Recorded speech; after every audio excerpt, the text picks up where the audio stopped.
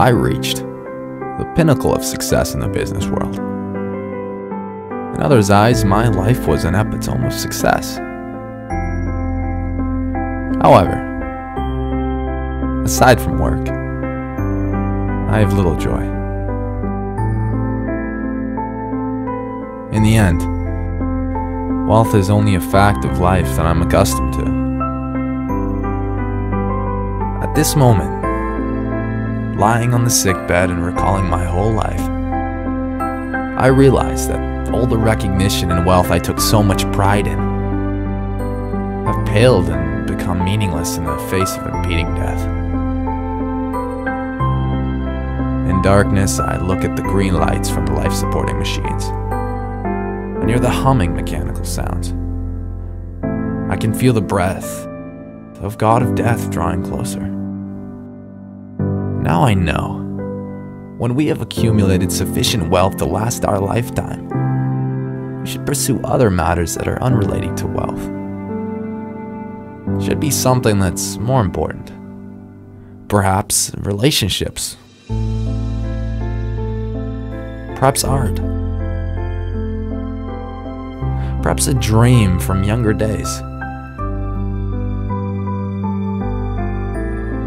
Non-stop pursuing of wealth will only turn a person into a twisted being.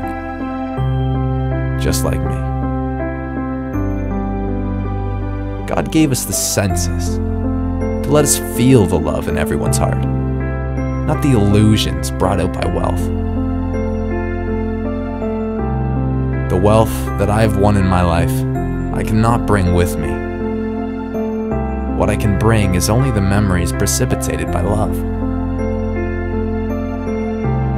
That's the true riches which will follow you, accompany you, giving you strength and light to go on.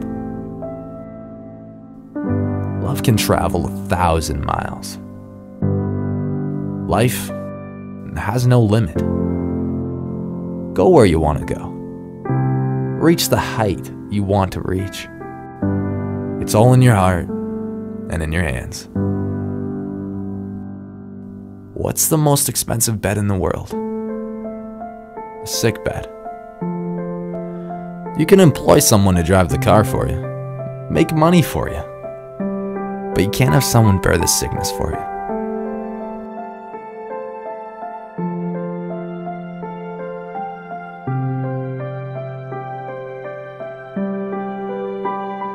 Material things lost can be found. But there is one thing that can never be found when it's lost life.